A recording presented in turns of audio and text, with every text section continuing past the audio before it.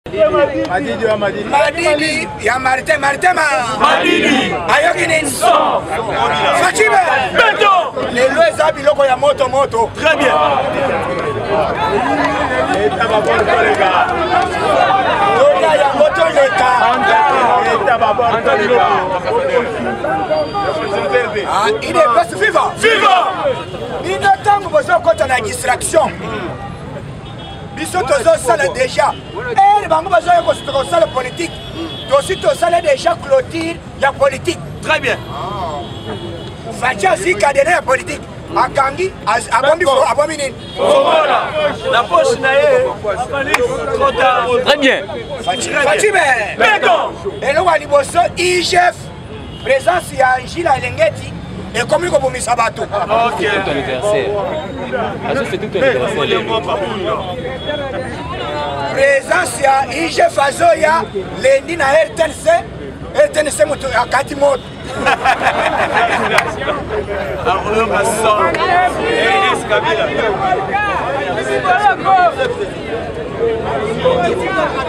Ernest, Ernest, Ernest, Kabila. Kadaye. Alobi, eh, eh. soni oyo nakoyoka mwana yelana na mbuma wana omi nakufa nazala emilie boye puiske kuna bamilio eza ebele bajoine na ye bakokanga eza non seulement ya kinshasa ya république nini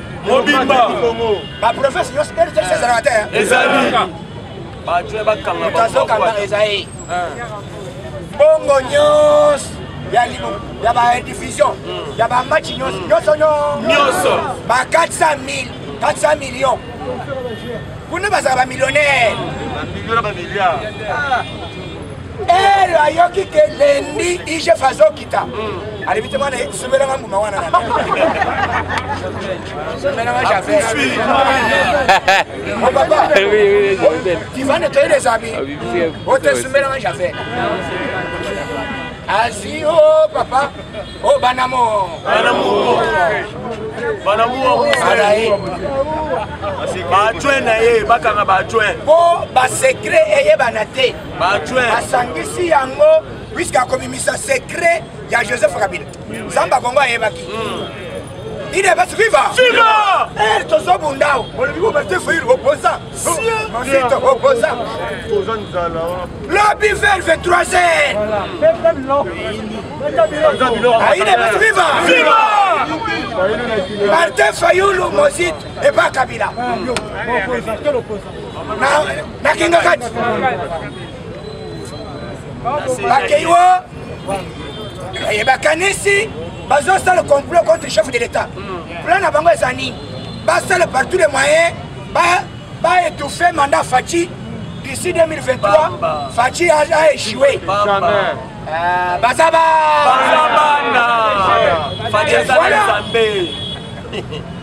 opposition moto atakisa yo te felix aza kabiliste eh. boyoka yango te eh?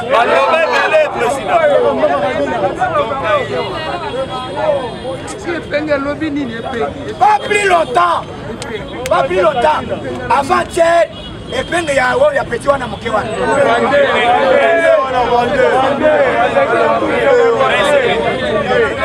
nzeta kombo wana nzeta kombo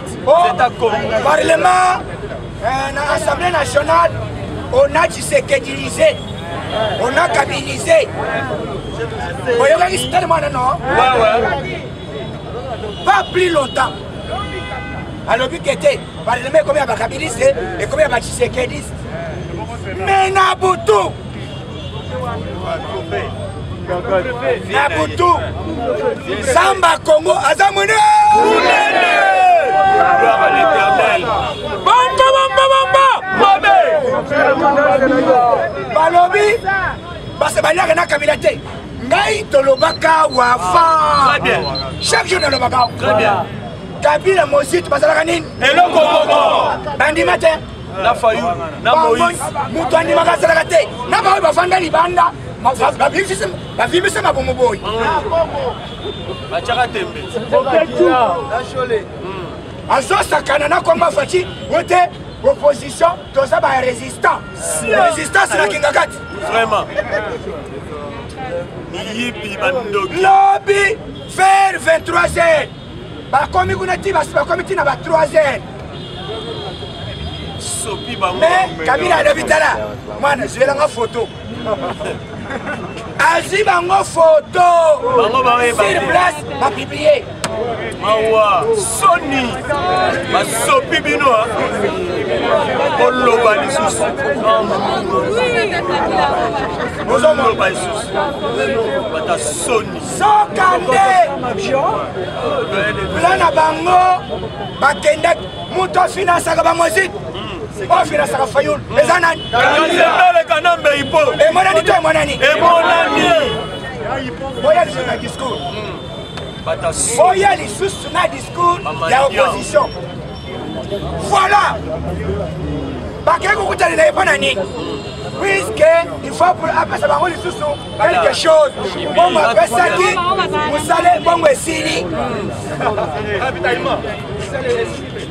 alobi te mosala namoni bosala na mosala moto afinasa bango selui moto aluki ke bakongole bakrei likambo ya tribalisme eboyi eza kabila na mozito bamoni martin fayulu oye kosala nini epa kabila sola bazalaka na bango depuis que bazanga soni bamoya mais lobi nde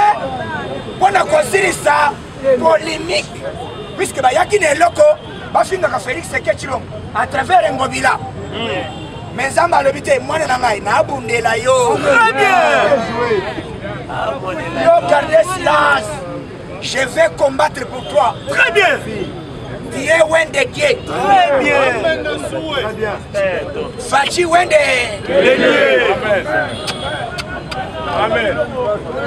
metala basala eloko wana le mercredi na butu ya jeudi na mini kingakati eh, bayebaki te satellite ezozwa effectivement complot nyonso bamindele na baoyo bazali kostenir martin fayul na baoyo bazali kostenir mozito bakomprendre ke te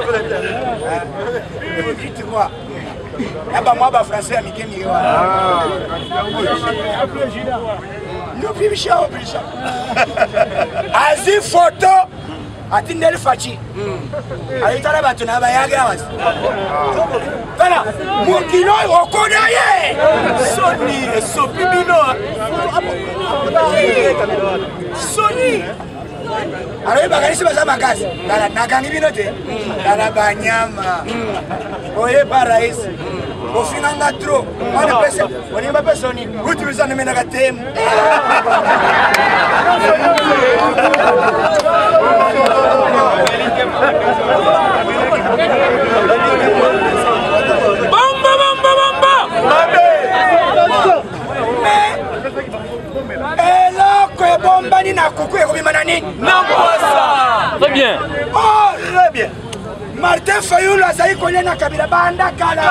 azokosa bino félix sekeli bateki mboka na kabila po bazomanipule peuple bazomanipule bana bato balingi batribalize congo ekoma bandulu na balobo babomana tala complexe fayulu T'as le complot naïe à tenir. Il n'est pas même congolais.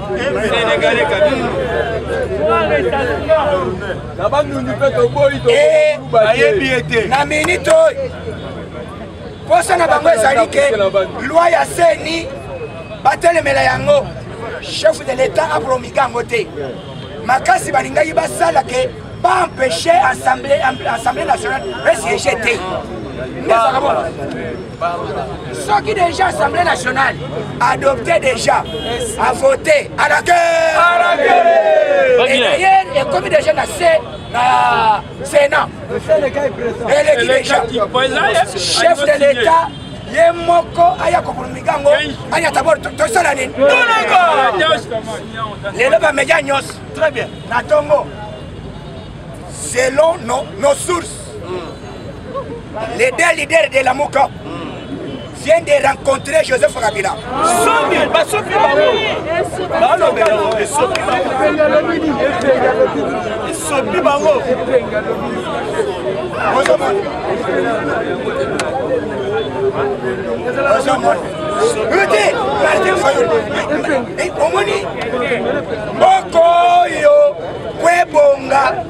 Il faut ebonga à travers Fatime. Maintenant, 100% congolais. Siona. Wende Dieu envoyé de l'éternel. C'est Fatih Beton. Fatih akoti na Rwanda. epai na liboso akendeki epa museveni eza na nini uganda e d'ailleurs faci ayebi kosolola très bien faci ayebi masolo akutani na museveni ayo ndeni président mais awa ete mpenza tolinga mpe toprofitaka ntango oyo eloko tala biso na barichesse oyo lokola nalobi te togarde contact mm. banda kosala tracteur mm. tokosala système ya kanyaga très bien ete mpenza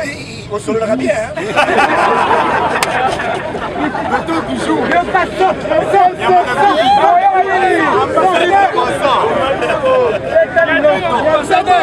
Bomba, bomba, bomba! apres yango lelo kora mikora ko soit disant le tout puissant ya ba multinationaux na afrique kakam il y a une grande diplomate dans le monde, même en Afrique. Fatshi Beton. Fatshi Beton. Le petit Jésus. Fatshi abengi Kagame alimine président ya koto kutana totala koma nzela na ngambo na ye ebukani bongo toya mpe na ngambo oyo totala ndenge nzela ebukani tokosala ndeni mpo bakangakanga batru wana aye mbangu oyoka diplomasi kakama alibi te president nazoya mbangu ayaka ta sali nini mbangu president alobi boye tobandele no na yo na frontière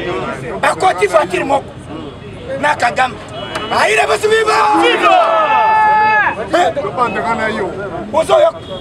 alobi te moto mosusu te yo vandanga na vandanga bakoti motuka moko bakati sikoma frontière bakomi ti na bisika wana oyo mboka ya frontière entre rdc na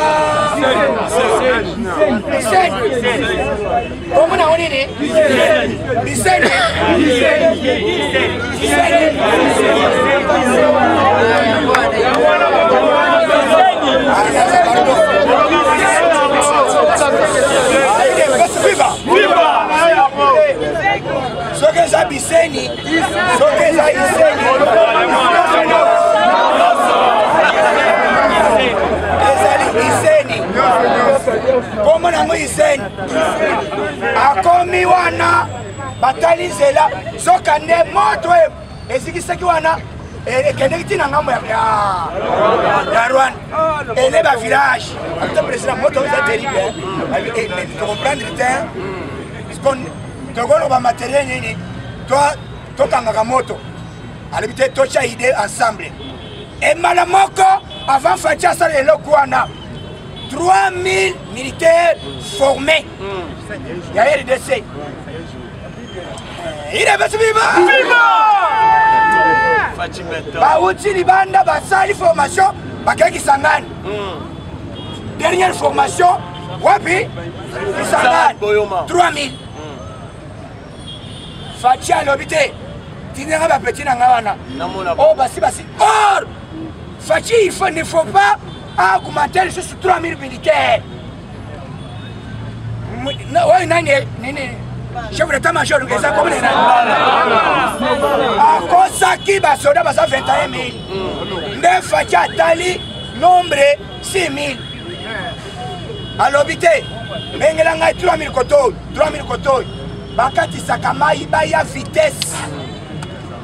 puisque bientôt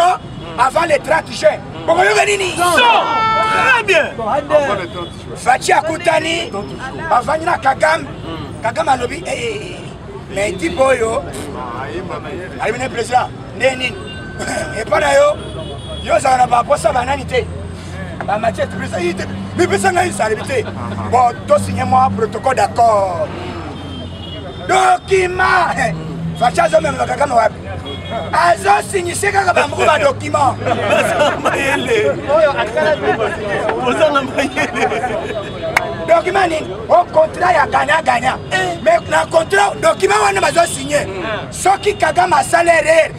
Très bien. Très très bien. Yes. tala faci eh, eza ya construction contre eza ya construction entre rdc na rwanda totonga nzela ba trace elongwa banani tozima mabulu kaka masepe faci alobi nazwi bino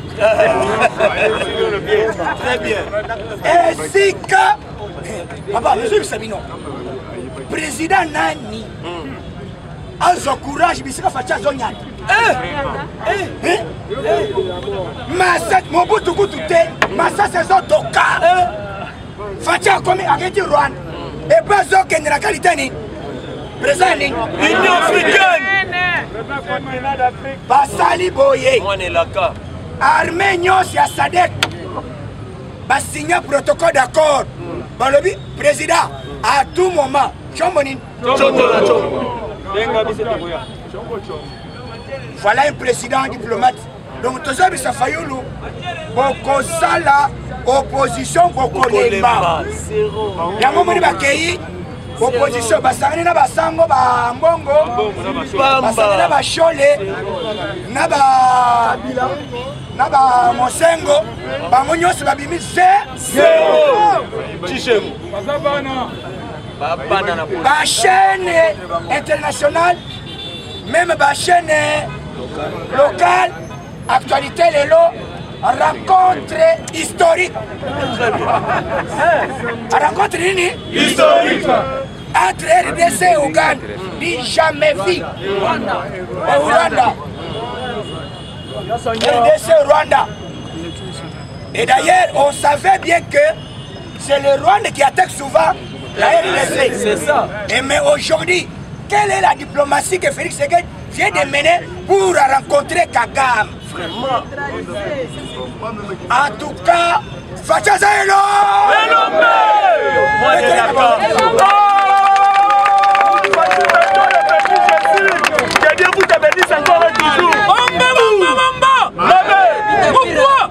Mukwata sala mawe. Sala mawe sala ye. Kamande. Ezali mpo kimia eya na mboka makambo esalama bien hmm. ezosenga kimia ezala na mboka nini eh, vest faci aye hmm. basilisi kuna bazongi sikoyo na rdc hmm. kagame nde atubeli alobi nabandaki komona yo na mosika bakosi ngai makambo ebele bakoseli yo makambo ebe alobi peti wana atongi yo fort ale président lokuta mabe nalingaka trop nabandaki komona ke ntango yo okokoma kokangisa biso guerre ekobanda kosalama mais aussi lota bato basali bino mabe ozali kosaproche eh. en tout cas nayebisi bakuluna nyonso baza na zamba oyo bakolinga kobima te ngai mokakama na kosachange na bango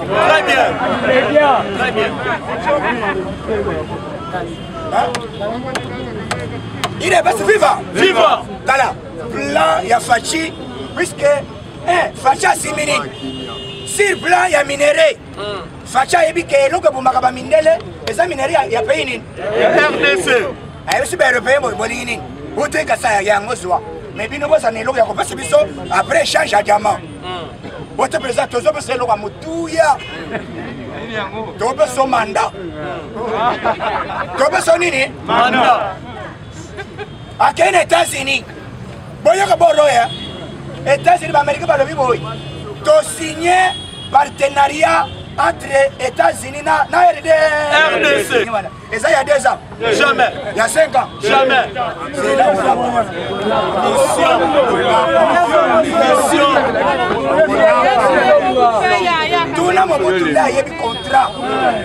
Mission. C'est ça que vous mettez au Wazabanga.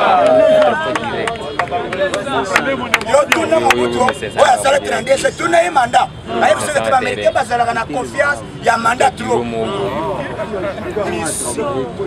papa bokita bomata faci akopromite lwa wana tozokende mpe élection faci akoganye hola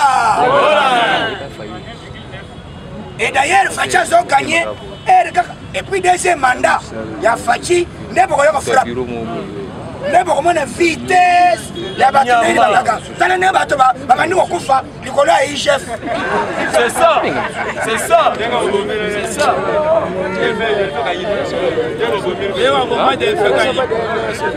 systeme oyo bakomaki delfe kaimi ya demiap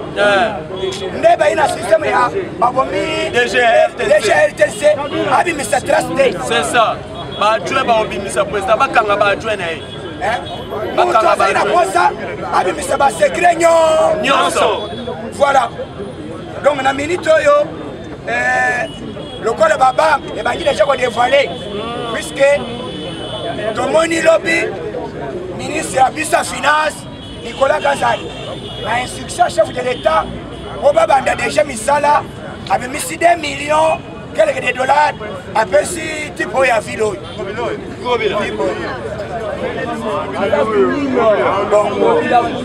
biso wana eza bapiège wana eza mbongo po akangama eza mbongo asuka asala nini akangama kitoko singa na kingo lobi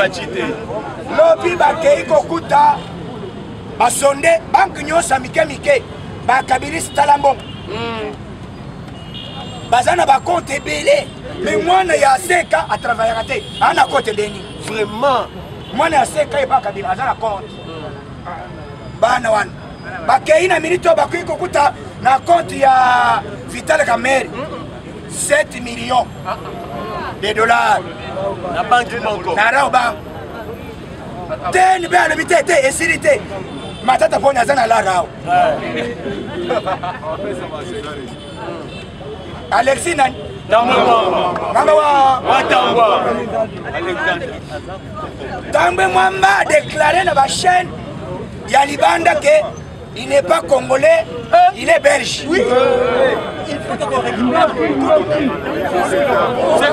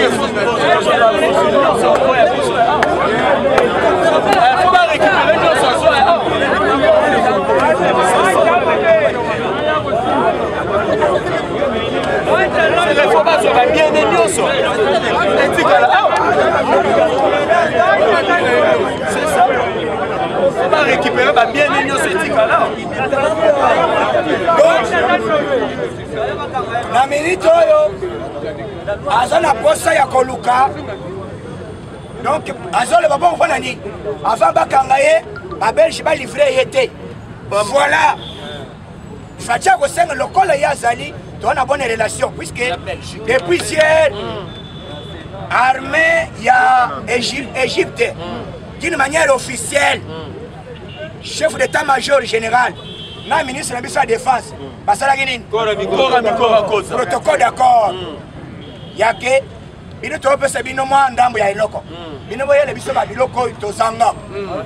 ndule ya nini ya leta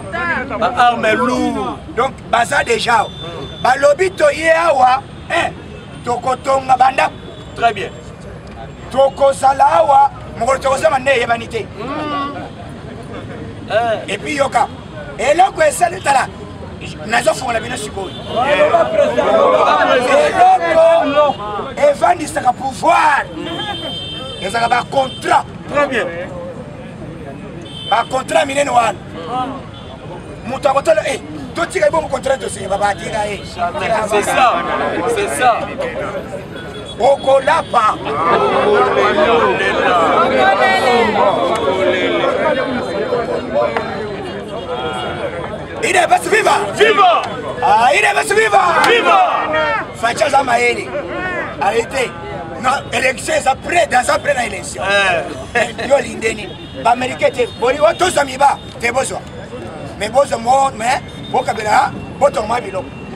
botolingi tozwa jakami bozwa me botongana mwa eloko bamerika batali balobi me tosingi na ti mpo tozwa miba tozwa jakami alobi na eloko te toyei kopesa nani eh, zela zela okolapa eh, élection zela ezali hmm. mais président eza nani fatimeto bakosa bino te élection soko ya risque bako publie yango meme na chat de combat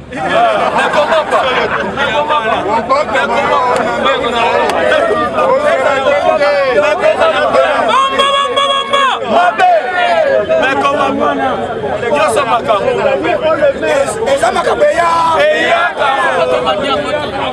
ebanda lelo te eza biloko toku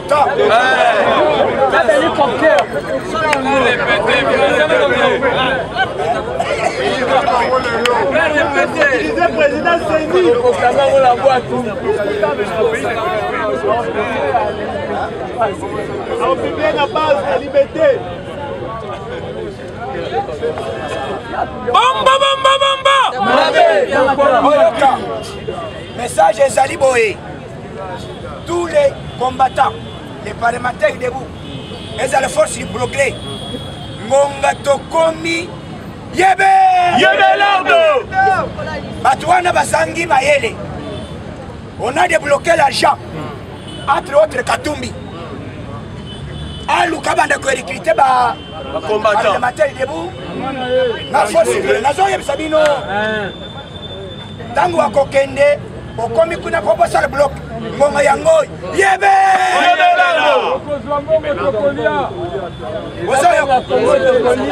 batindi bapeti na bango bajaki ndala hmm. bamosusu bazali na bamasina boti kombata bovandi nani bozwi mosala te zwa mbongo yango oyo omoni mbongo 50 000 bakobanda kotindela yo poso na bango nini babanda kodiminue effectif ya biso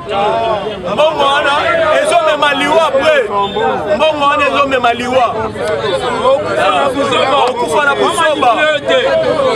mbongo wana ezomema liwa eza sacré biso tolobi boye s'il vous plaît idps viva viva makambo oyo tokosala na mboka oyo faci bakovote ye na evre oyo akosala na mboka oyo me nazoyebisa bino eloko oyo ezalaki makasi actualité ezalaki nini eza lisusu te je suis beni eza lisusu te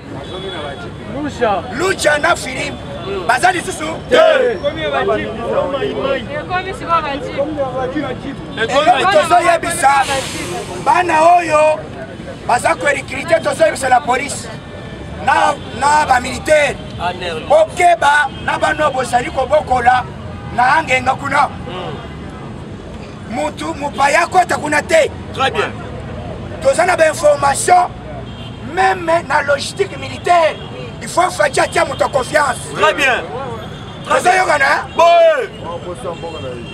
puiske bango nde bazala près ya kolivre manduki batekele manduki ya bien bapesa ba bato wana ya libanda tere esili ndenge nini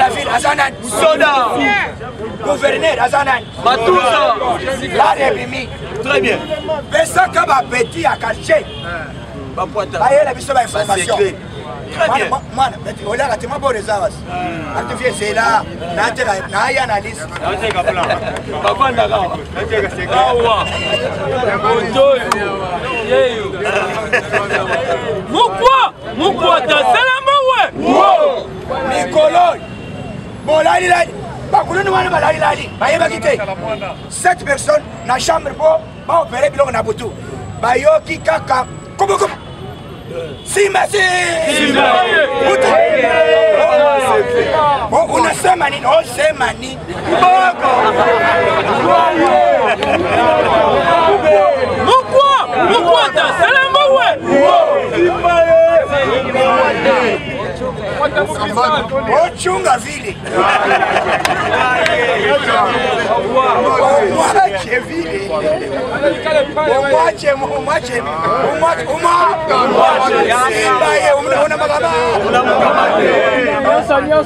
bakangi bato bainfiltre na kati ya armee 7 personnes baofficier oyo bazali kopesa information oyo bazali kovimbisa bafictif ya baétranger na armée yango faci abengisi bapetit bavrai congolais hmm. omoni bango na video ndenge bazoyeba balobi boye batuni bapetit balobi te toa bagene makire ezotanga hmm. ali tozonga kuna bana ituri mbume kotoka ande en desordre balobi toye kondima na apele ya chef de l'etat mbongo nyonso bayibaki wana ezongela epuis faci alobi ndenge bazwa ye wana motivation ya bamilitaire ekozala alimekozala kimia makambo ezoleka bien bandoki nyonso bazali déjà dévoile mm. oyo bayaki bakanisaki faci nde aza demo soka nde bango bavrai diabolo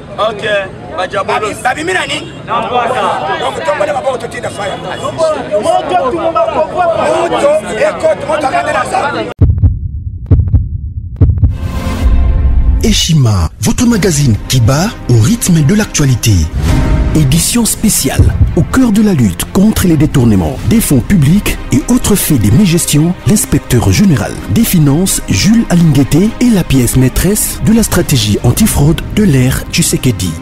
Expert des finances, en moins d'une année, Jules Alingueté a su dire halte aux détourneurs, dénicher les fossoyeurs de l'économie congolaise et déjouer les stratégies de vol des deniers publics au point de devenir le symbole de la lutte contre la corruption en RDC. Interview exclusive du numéro 1 de l'UGF. E Mission de l'UGF, e innovation apportée à l'inspection générale, les confidences des résultats d'enquête, patrouille financière, à qui l'UGF e fait-elle rapport, qui donne des ordres à l'UGF, comment contrer les immunités parlementaires, les observations faites dans plusieurs provinces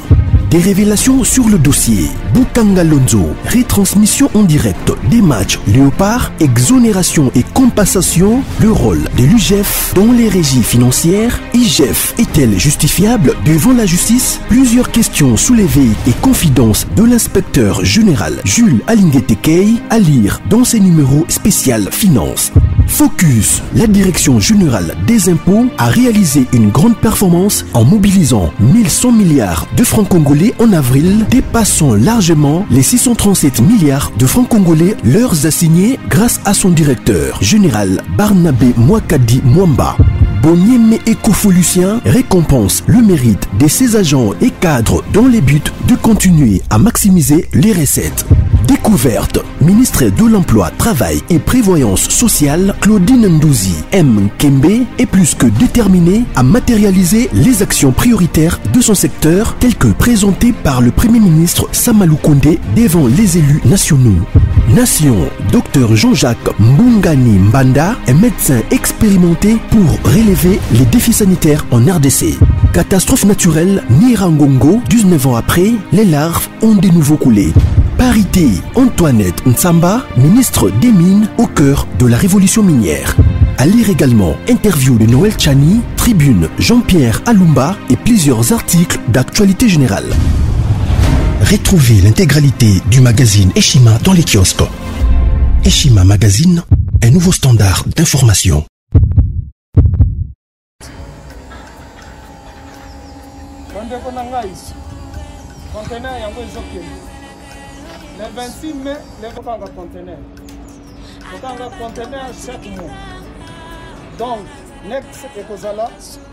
le 26 mai olingi otinda velo mutuka please esi okangi biloko tu omemaka na biso benga biso comme ça toya tomema biloko totinda na kongo